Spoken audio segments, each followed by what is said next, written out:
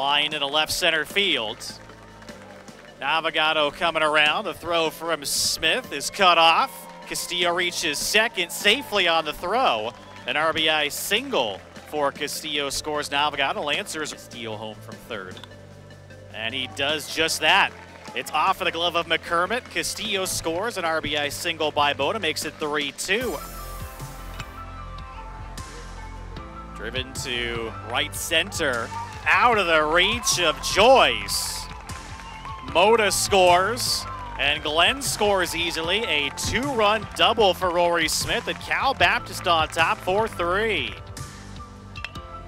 Round ball right at the middle for a base hit. Spawn scores. Smith rounding third, he scores.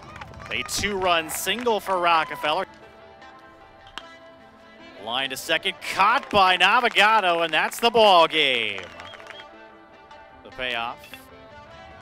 Base hit to left center. Navigado scores, Castillo scores.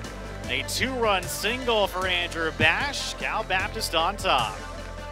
Driving in runs. Spawn lays down a beautiful bunt. And the throw is air mailed into Lancers bullpen, scoring Moda. Lifted to right, lands in. Coming in to score Smith. Rockefeller being sent around as well. He scores. A two-run single for Capilupo. One hopper to Navigado. That's the ball game for California Baptist. What a way to enter into Division One. They sweep the Northern Illinois Huskies.